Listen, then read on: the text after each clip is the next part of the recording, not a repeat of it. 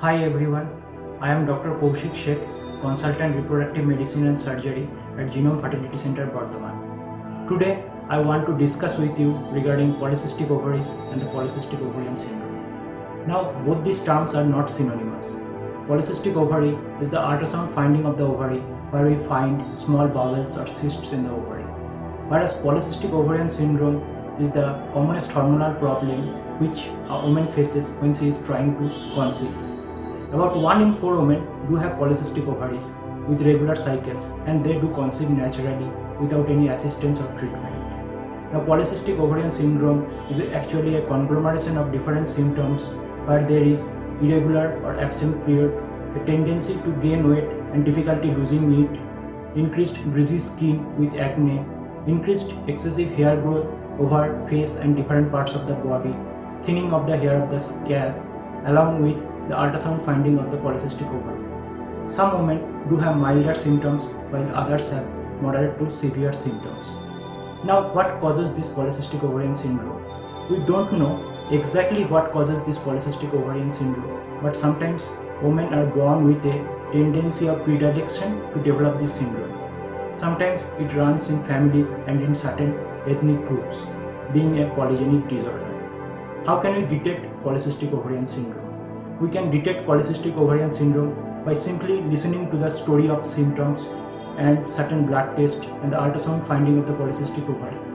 Among the blood tests, we generally recommend FSH, LH, estradiol, AMH, thyroid function test, prolactin levels, oral glucose tolerance test, lipid profile, vitamin D. What is the treatment of polycystic ovarian syndrome?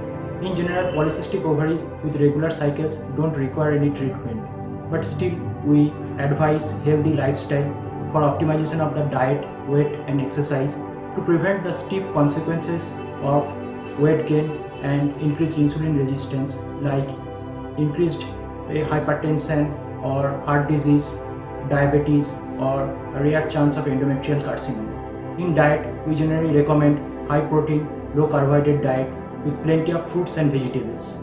Optimization of the weight is also required as overweight and underweight can lead to decreased chance of pregnancy and increased risk of miscarriage.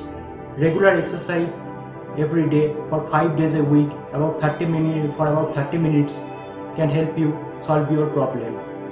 In the, oral ovulogens, generally the uh, patients, those who have irregular cycles, we prescribe oral ovulogens in the form of letrozole or in, in the form of clomiphene citrate to make them ovulate. When these oral tablets don't work, we recommend daily hormonal injections in the form of FSH or HMG. When these tablets or injections don't work, we drill small holes in the ovary laparoscopically to make the ovaries sensitive to ovulation or make them ovulate. Sometimes we also prescribe metformin or inositol to make the ovaries sensitive to these medications. When this simpler treatment doesn't work, we recommend IVF or test tube baby as the last resort.